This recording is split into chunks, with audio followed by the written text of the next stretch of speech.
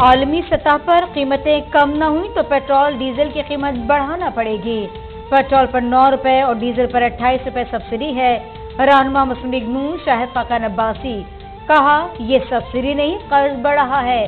कीमतें एडजस्ट करना पड़ेंगी या बढ़ाना पड़ेंगी। बजट में जितना मुमकिन हो सका आवाम को रिलीफ देंगी।